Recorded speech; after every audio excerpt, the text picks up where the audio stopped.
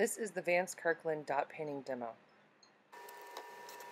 First, I did a basic drawing to get all of my ideas out on paper. I decided to go with a warm color scheme with a flame effect, gray background.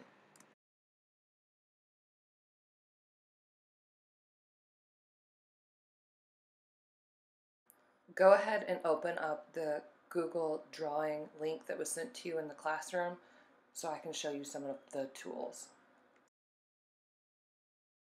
Up at the top of the toolbar, there is a circle and square symbol. Select the rectangle, scan over the entire document. It'll come up blue and change it to the background color that you want by clicking on the paint bucket.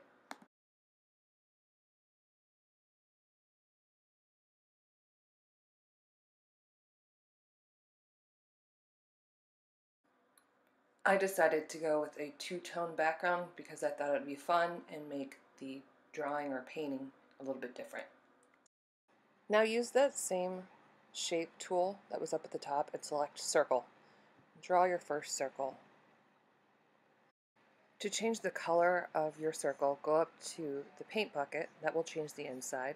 The pen will change the outside line.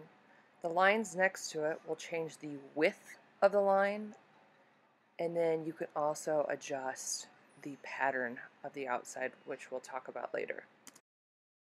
Now you're probably thinking that this project stinks because you have to create a new dot each time, but actually if you watch the video, it becomes really easy. All you have to do is remember these two buttons. Hold Control, press C, hold Control, then press V, and that's copy and paste. We'll just copy and paste a whole bunch of those lines. So what I like to do is copy and paste a whole bunch in a row and then rearrange them to where I want them to go. And then once they're out of the way, I repeat the step over and over again.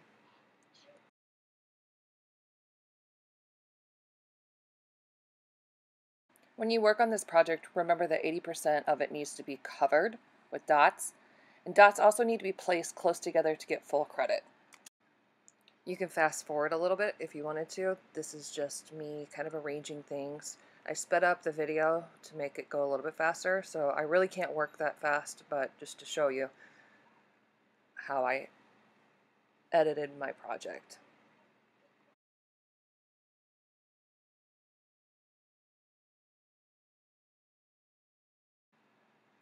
Another thing I like about this project is you can do various sizes of dots. So here's a couple examples of me using thick dots, thin dots, but still using the copy and paste method and putting them everywhere in that particular space. One thing you will be graded on is did you use a wide variety of sizes of dots? So it's good to kind of put a couple different sizes in there, small, medium, and large. It's very important. You really just want to make sure you fill up the page. The more you fill up, the better chances your grade will be. Now I am starting to do the interior part of my flame. Uh, I started off with yellow and orange, yellow on the inside, orange on the outside. Now I'm going for an orange interior, yellow outside. You can always adjust the width of the uh, exterior like line on the outside of the shape and then move it into place, copy and paste, put a whole bunch out there, and then rearrange it to the way you want it to go. So the next part, I decided to use a red dot with an orange outside, and I'm copy and pasting a whole bunch of various sizes. Now one really cool thing I found with Google Drawing is you can adjust the width of the outside line and make it a little bit thicker. And then what I like to do is use the line pattern tool to create different types of patterns on the outside. Let's look at it up at the top.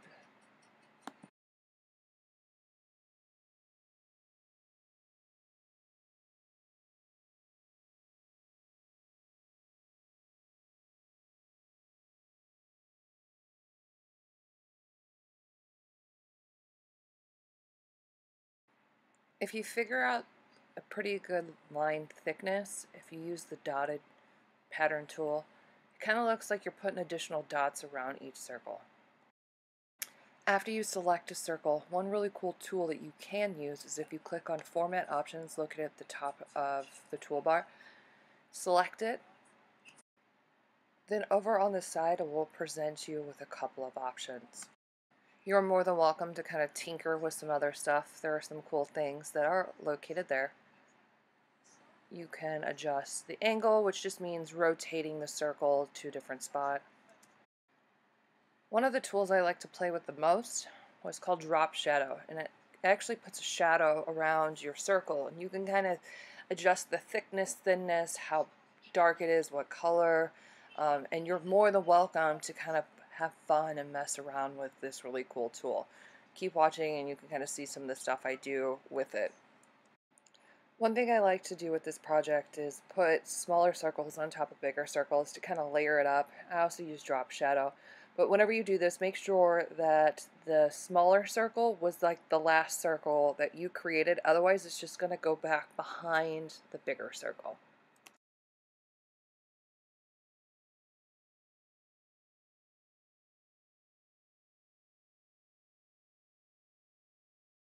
The next thing I did is start filling up my background. So for me, because the bottom portion was a darker gray, I decided to use a lighter gray for that circle and all I did was just copy and paste multiple times, adjusted the sizing just to fill up that space.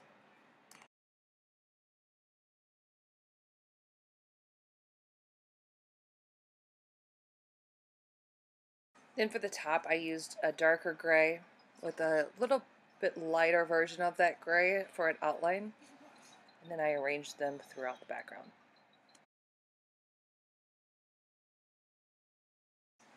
In those bigger spaces, you are more than welcome to use a little bit bigger dots. I really do like the various dot sizes. However, do not just use only big dots to complete this task. I feel like that is just kind of cheating a little bit. And like I said before, I'm a big fan of layering up the circles and adding drop shadows to them. I understand that this isn't as cool as doing a painting and it's not the same as a painting. However, this was the only online option that I could find that would work with Google Classroom.